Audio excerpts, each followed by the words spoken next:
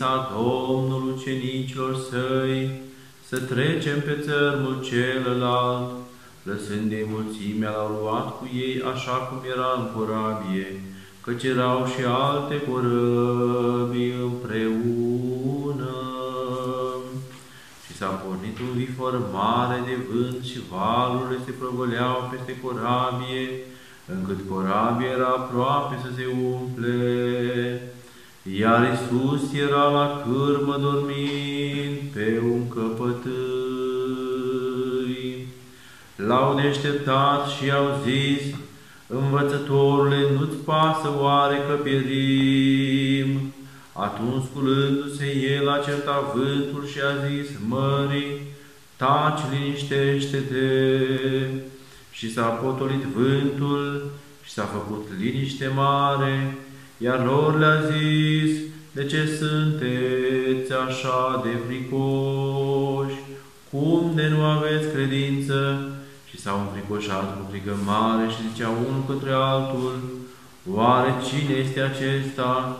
Că și vântul și mare ascultă de el. Numele Tatălui și al Fiului și al Sfântului. Suntem în zi de miercuri, în săptămâna 14 după pogorârea Sfântului Duh. Sfântul Apostol și Evanghelist Marcul ne prezintă pe Mântuitorul nostru Iisus Hristos în mijlocul valurilor. Hristos Domnul a luat ucenicii și le-a spus clar să trecem pe țărmul celălalt. Și lăsând ei mulțimea, l-au luat cu ei, așa cum era în corabie, căci erau și alte corăbii împreună.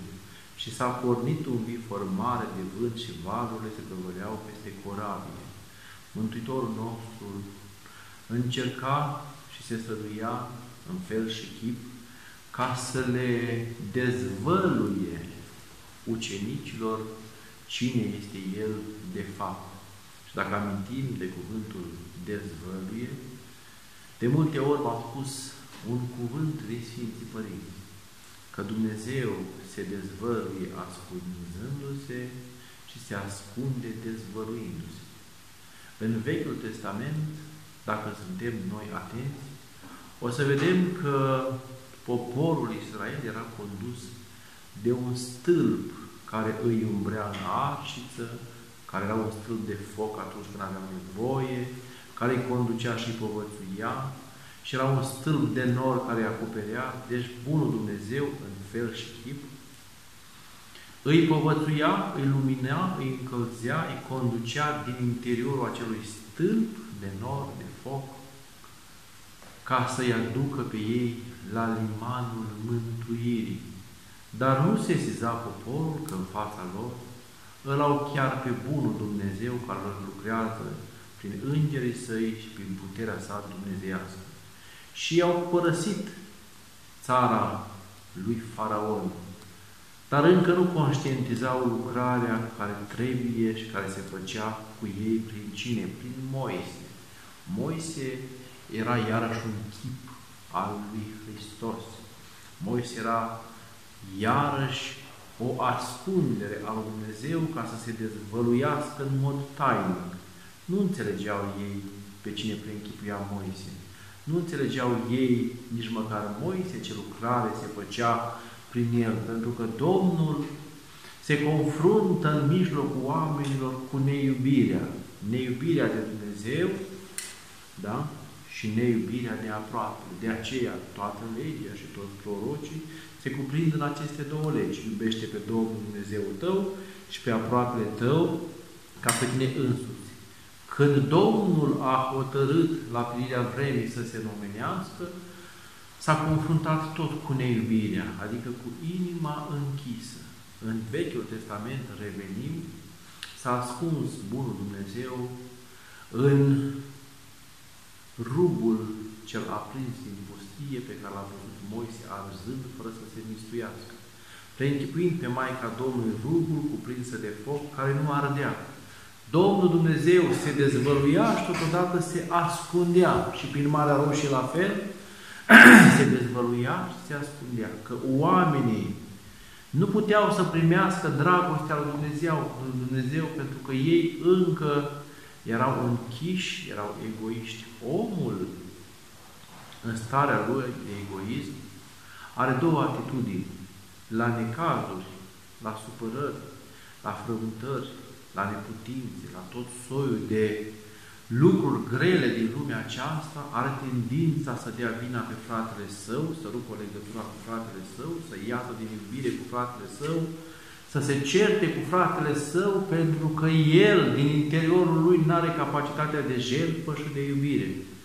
Iar în punctele lui de egoism, de umflare a egoului din el, ajunge la momentul de răzvrătire împotriva lui Dumnezeu, de neiubire lui Dumnezeu, de cârtire împotriva lui Dumnezeu, de răsculare împotriva lui Dumnezeu. Neiubirea lui Dumnezeu duce până la împotrivire și ceartă cu Dumnezeu în adâncul inimii, iar neiubirea aproapelui duce la o separație și la o frământare pe orizontală. Aceasta este boala întregii omeniri. Cu această boală a venit Bunul Dumnezeu să lupte, să lucreze și să vindece ca să-L aducă pe om la iubirea cea adevărată de Dumnezeu, de sine și de aproape. Și în Vechiul Testament, cum a spus, atât prin Marea Roșie, cât și prin stâlpul de nor și de foc, și prin rugul aprins, Bunul Dumnezeu lucra într-un mod ascuns și tainic, dezvăluindu-se puțin, dar lucrând mai mult în interior, la ce lucra credincioși? La luminarea și la iubirea pe care trebuia să o cuprindă inima omului.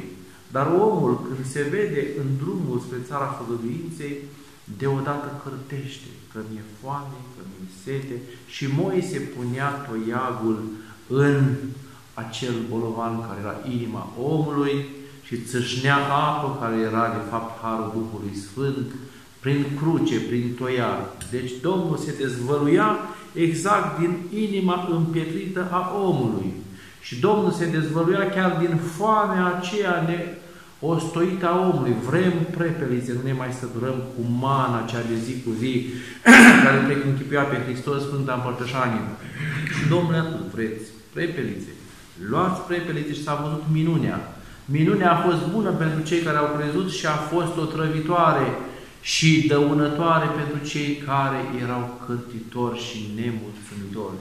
Deci Domnul lucrează potrivit cu inima omului. Și când s-a suit Moise în munte și acolo erau tunete și erau fulgere și erau trâmbițele îngerești, Moise s-a suit în munte după ce s-a descălțat, s-a deslipit de cele pământești și acolo Domnul în întuneric, mai presus de lumină, s-a dezvăluit lui Moise, iubiți credincioși, în tablele legii și în tablele legii, iată că li s-a arătat oamenilor și s-a ascuns în tablele legii.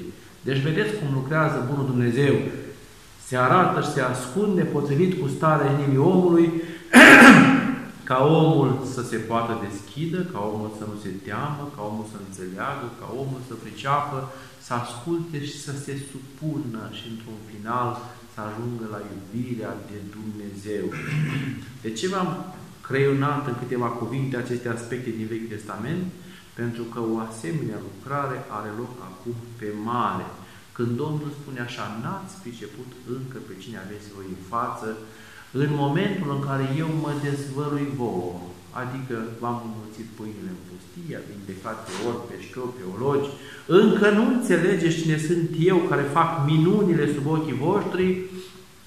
Și a spus, trebuie să învăț pe ucenici să pătrundă mai adânc în inima lor, slobozim mulțimile, îi silesc să se urce în corabie, ne urcăm cu toți în corabie și plecăm în marea aceasta învolburată, în marea aceasta a lumii acestea, ieșirea lui Hristos cu ucenici în corabie, pe mare, credincioși, era o deschidere și erau ei și cu toate ale cerului, ale pământului și ale inimilor. Era El și cu ei. Și ce a făcut Domnul? Uitați, aici spune clar că era în corabie, era la cârma corabie și dormea. Dormea Domnul. Deci Domnul, de fapt, se ascundea în acel somn, dar era treaz. Aceștia erau treji și de fapt dormeau și nu înțelegea. Domnul se ascundea și se dezvăluia, iar aceștia erau cu toate la vedere și nu înțelegeau nimic. Și s-a pornit un vifor mare. De ce s-a pornit? Pentru că Domnul a îngăduit. De ce s-a pornit tocmai atunci? Pentru că atunci era momentul. De ce era un vifor mare? Pentru că inima lor avea nevoie de o zgâlțială mare. De ce toate acestea? Pentru că Domnul le proniază pe toate cele exterioare ca să le trezească, să le lumineze și să le vindece pe cele interioare. S-a pornit un vifor mare de vânt, vântul, discredincioși, aerul, și valurile se prăvăleau peste corabii, adică apa. Deci și vântul, și aerul, și apa, toate se năposteau asupra corabiei.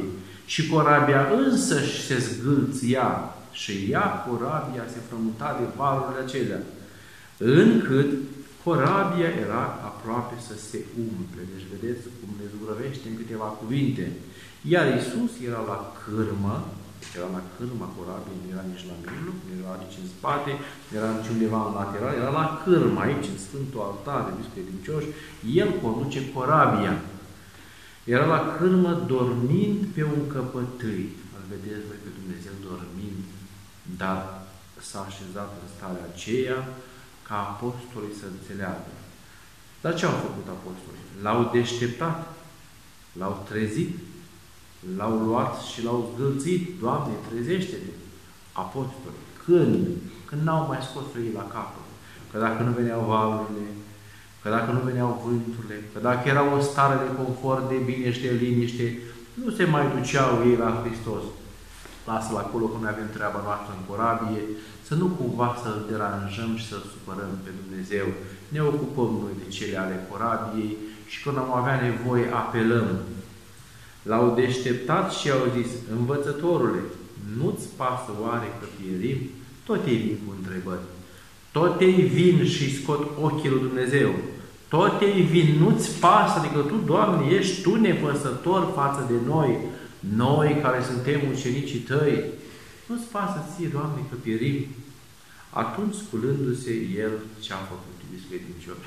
A acționat asupra creației, asupra naturii, ca să liniștească lor inima, să liniștească Duhul ei. Și ce a făcut? A certat vântul, a zis mustrător, a spus cu cuvântul, apoi a zis mării, taci și liniștește-te, vă dați seama, cu cuvântul. A certat, a mustrat și a zis, taci, liniștește-te. Și s-a potolit vântul și s-a făcut liniște mare atâta timp cât era totul liniștit pe mare și ei erau într-o adormire și într-o amorțire, chiar dacă erau treji și Domnul dormind se frământa pentru inima lor nesimțitoare. Atunci când au venit toate din toate direcțiile, aceștia s-au trejit, s-au cutremurat, s-au frământat, s-au dus să se țină de Dumnezeu. Iar Domnul a lucrat prin exterior, prin toate ale vieții, ca să le vindece inima care a fost scoasă din amorțire și nu știa încotro să o apuce fiecare apostol, pentru că, vă dați seama, corabia era aproape să se umple, erau la limita limitelor, pentru că Domnul nu acționează așa oricum, pentru că dacă acționează ca un părinte iubitor, omul nu înțelege, nu se sizează darurile și binecuvântările care le primește în fiecare zi și omul este nemulțumitor și cârtitor. De aceea îngăduie Domnul cele ale lumii acestea să se întoarcă împotriva noastră, ca noi să ne trezim, să ne smerim, să apelăm la El și să-L rugăm, Doamne, scapă-ne că pierim, Doamne, trezește-te, deșteaptă-te. Și s-a potolit vântul, s-a făcut niște mare, iar lor le-a zis, de ce sunteți așa fricoși? Vedeți, frica, iubiți credincioși, frica, acest sentiment care paralizează ființa umană. Frica acest sentiment care te face să, să te comporți necugetat. Frica, această stare interioară care te face să-ți pierzi acțiunea, să faci alegeri greșite, să nu mai discernământ, să nu mai vezi care este adevărul, să încerci să te scapi trupește și să uiți că de fapt, de fapt trebuie să te vindești sufletește. Frica este o stare interioară de necredință, pentru că Domnul spune clar, cum de nu aveți credință și s-au înfricoșat cu frică mare Și zicea unul către altul, oare cine este acesta ca și vântul și mare îl ascultă pe el? De s-au înfricoșat cu frică mare, pentru că nu aveau credință, pentru că nu știau și nu cunoșteau pe cine au în corabie și necredința lor i-a dus în starea aceasta. Care este starea generală a lumii acesteia în care trăim noi astăzi, iubiți credincioși. Lumea aceasta este mare, învolburată cu toate scăderile și cu toate urcările, cu toate plusurile și cu toate minusurile, cu toate momentele de bine și cu toate momentele de rău. Marea aceasta când ești sănătos și când ești bolnav, când ești tânăr și când ești bătrân, când le ai și când nu le ai. Și putem continua cu această stare a valurilor mării. Mare este, de fapt, lumea în care trăim noi, biserica este corabia, apostolii sunt slujitorii ei, Hristos este la cârmă, oamenii sunt de foarte multe ori în afara corabiei și cei care sunt în corabie suntem credincioși, suntem tămători, suntem indiferenți, precum au fost apostolii și nu ne ținem strâns de picioarele Mântuitorului, îl lăsăm pe Hristos Domnul, dormi, Doamne, Tu liniștit în Sfântul Altar, că noi ne facem mendrele în pronaos, naos și în curtea templului. Nu cumva să te deranjezi, că vom apela noi la nevoie. Și Domnul ne lasă să vedem noi cum ne comportăm în viața noastră de zi cu zi. Dar toate frământările și vânturile și valurile și tulburările exterioare sunt îngăduite de Bunul Dumnezeu acum în lumea aceasta pentru că am fost nemulțumitori pentru că am fost necredincioși, pentru că am fost indiferenți față de toate darurile pe care le-a dat El ani și ani de zile. Și ne-am centrat pe un singur lucru, pe iubirea de sine, pe afirmarea egoului, pe părerea de sine, pe confortul trupesc, pe apuția lumească, pe toate ale lumii, până când a început să se zgâlție corabia. Și lumea aceasta este ca o corabie acum care se zgâlție. Și omul în nebuneala lui încă nu știe la cine să strige. Ba mai mult, când îndrăsnesc cei care înțeleg câte ceva să vină la Hristos Domnul, la cârma bisericii, să vină la Sfântul Altar, tocmai urma și apostolul le spun lor, vedeți voi că sunt vânturile, vedeți voi că sunt valurile, vedeți voi că se zgâlție corabia, dar nu cumva să veniți să-L atingeți pe Domnul, nu cumva să apropiați să-L treziți pe Domnul, nu cumva să veniți să vă împărtășiți, nu cumva să veniți în noaptea de înviere să veniți să primiți lumină, nu cumva să veniți la pogorea Duhului Sfânt, să, să vă umpleți de har, nu cumva să veniți voi, stați acasă, stați în carantină, închideți-vă, stați izolați, nu vă uniți unul cu alții, puneți-vă bodiți, ascultați comanda la noi. Aceasta este lumea în care trăim noi, iar cei care din biserică fac la fel ca cei din sistem, nu sunt decât niște împotrivitori care spun într-o formă sau alta din ce în ce mai corect politic și mai cosmetizat, nu cumva să treziți pe Domnul. Pentru că dacă trezim pe Domnul, Domnul își face milă cu noi. Are milă și îndurare. Nu știți cum spune acolo exponistul cu mila și cu îndurările și cu iubirea de oameni, ale unui a născut Fiul Său care ești binecuvântat. Mila și îndurările și să, dacă tot am ajuns la acest cuvânt, iubiți credincioși, o să leg de o întâmplare legată de Preasfânta Născătoare de Dumnezeu, pentru că toți suntem imediat după practicul nașterii Maicii Domnului. Era un uncenic a unui părinte care era în pustie și ei se străduiau să fie una, într-o asceză exterioară foarte aspră și în continuu să repete rugăciunea Doamnei Iisuse Hristoase, Fiul lui Dumnezeu, miluiește-mă pe mine păcătosul. Și bătrânul i-a spus clar, nu încerca să te lupți mai mult decât trebuie cu dobândirea rugăciunii, că vine în dar de la Dumnezeu. Nu forța lucrurile că ar putea să-ți ieși din minți, pentru că chiar rugăciunea, dacă o folosești cum nu trebuie, neavând smerenia care se naște din ascultare, tu faci pe baza voinței tale o insistență în rugăciune și chiar rugăciunea te poate vătăma fiind cuprins de ispita de dreapta care îți vatămă mintea. Ispitele de dreapta sunt asceza peste măsură, rugăciunea peste măsură, din voie proprie și în felul acesta cad în ispitirile vrăcești și te duce într-așa înșelare și rătăcire, încât chiar insistând pe rugăciunea lui Isus, crezând că dobândești rugăciunea inimii, una este rugăciunea lui Isus, alta este rugăciunea inimii. Rugăciunea inimii este o stare duhovnicească interioară care se obține și chiar prin rugăciunea Tatăl nostru sau prin, prin psalm sau printr-o rugăciune la Maica Domnului. Dar rugăciunea lui Isus este formula Doamne, este Hristos, ești nepăgător. Și acest călugăr insista în felul lui și bătrânul i-a spus, nu insista, rămâi la mila și la îndurarea lui Dumnezeu.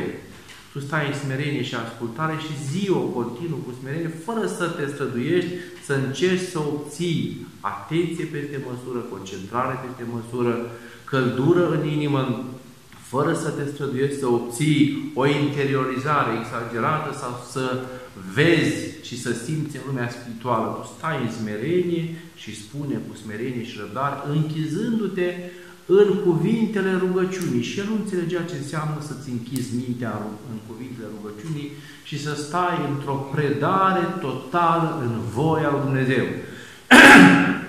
Repetăm, iubiți credincioși, o predare totală în voia lui Dumnezeu și într-o savurare, să zic așa, într-o trăire continuă a tot ceea ce îți dă Dumnezeu pe fața pământului. Ai mâncat un măr, este mila lui Dumnezeu, te-ai bucurat de soare, de stele, este mila lui Dumnezeu, ai văzut un copac și verdeață, este mila lui Dumnezeu și toată această deschidere a lumii acestea este mila lui Dumnezeu.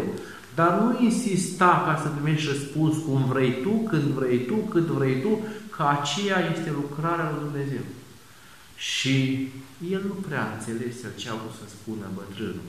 Și s-a dus și s-a așezat în genunchi la icoana Maicii Domnului, Maica Domnului, protectoarea călugărilor în Sfântul Munte Atos, Maica Domnului, este iubită de toți călugării, de viacuri și ocupă un loc special în inima atoniților. Ei simt acolo o stare și o protecție a Maicii Domnului. Dar extindem tot monacul care știe ce înseamnă luptele și nevoințele duhovnicești, care este aruncată de Bunul Dumnezeu în valurile acestei lupte și acestei lumi, el simte la momentele lui de limită, de extrem, când nu mai are nicio nădejde, simte pe Preasfânta Născătoare de Dumnezeu, care ea vine cu acoperământul ei și stabilește legătura cu Fiul Său, cu Mântuitorul nostru Iisus Hristos, care vine cu ce? Cu mila și cu durările Lui. Și acest monac s-a rugat la Maica Domnului. S-a rugat mult ca să o facă să înțeleagă. Și când era el într-o stare de vis, într-o stare de somn, într-o stare de vechi, a auzit un glas al preasfintei născătoare de Dumnezeu. Și acel glas spune așa, cu mila și cu îndurările. Și a rămas în continuu cu acel lucru, cu mila și cu îndurările. Deci el a încercat la bătrânul să-l învețe despre rugăciunea lui Isus, n-a înțeles, s-a dus la Maica Domnului Mijlocitoare, a făcut rugăciunea, a rămas într-o stare, când s-a culcat el seara, de neîmplinire și de neliniște și de neînțelegere, iar Maica Domnului a venit cu acest cuvânt, cu mila și cu îndurările. Și trucuia frumos un părinte, iubiți credincioși.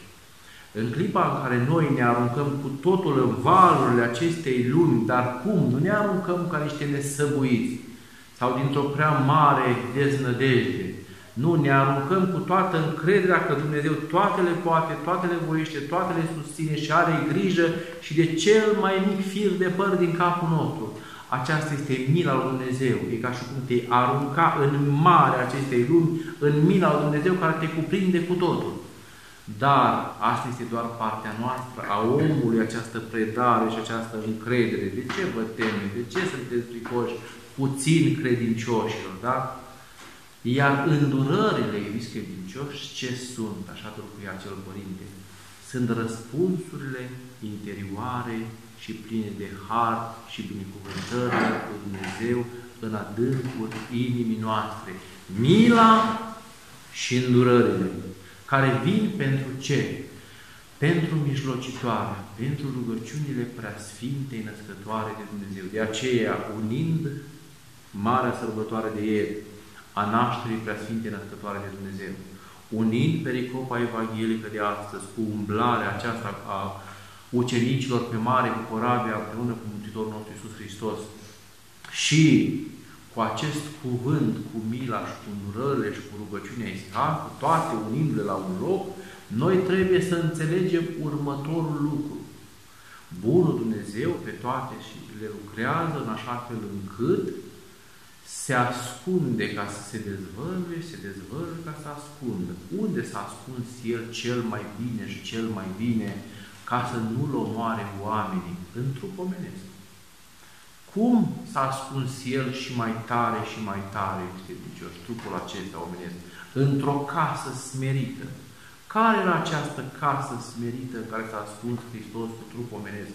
Era însăși pântecele preasfinte născătoare de Dumnezeu, era smerenia aceasta într-un în care pe Maica Domnului nu o debuiau nici demonii.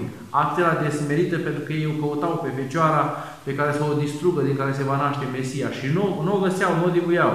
Pentru că s-a ascuns și mai tare sub logodirea cu Sfântul și dreptul Iosif și prin activitățile ei de zi cu zi, nu știau și nu înțelegeau că de fapt era în mijlocul lor soarele dreptății, cum ați auzit că se cântă la tropar și la condac la sărbătoarea de ieri, că prin nașterea ei se dezvăluie nouă soare dreptății, soare dreptății care se ascunde în Maica Domnului și Maica Domnului care se ascunde în veșmântul acesta al smereniei, ca Dumnezeu să vină cu mila și cu îndurările Lui în inima noastră. Și în această stare de predare totală în voia lui Dumnezeu, noi nu rămânem, iubiți credincioși, decât cu această strigare pe care trebuie să o spunem. Doamne, deșteaptă-te!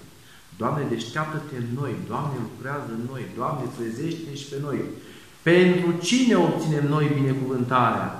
Pentru rugăciunile preasfintei născătoare de Dumnezeu, care încă mai ține lumea aceasta. De aceea, iubiți credincioși, Vedeți că lumea este zgâlțită de valuri, vedeți că biserica este atacată din toate părțile cu rabia mântuirii, vedeți că noi, apostolii, dormim și încă nu înțelegem. Pentru că apostolii au spus așa, cine este acesta de ascultă de el și vânturile și valurile?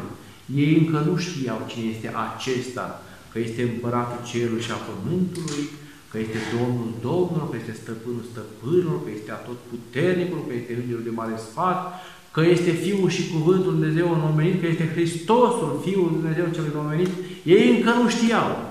Dar după această zgâlțială, omul se trezește, înțelege și se închină ca unui Dumnezeu, spunând ca Toma, Domnul meu și Dumnezeul meu. Omenirea este în situația aceasta.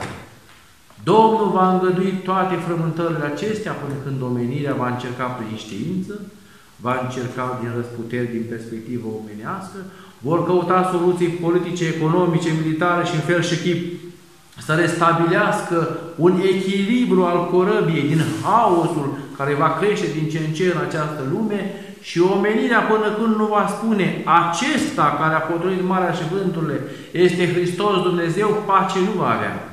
De aceea vă îndemnăm cu toții, mai ales pe voi care sunteți lumina lumii și starea pământului, adică creștinii ortodoxi, să veniți în corabie, duminică de duminică, sărbătoare de sărbătoare. Să stăm în continuu sub acoperământul Maicii Domnului ca să vină peste noi mila și îndurările. Și să repetăm neîncetat, Doamne Iisuse Hristoase, Fiul Dumnezeu, miluiește în lume păcătosul, ca Hristos din noi să spună în interiorul nostru, la toate vânturile și la toate varurile, taci, potolește, liniștește-te, amin.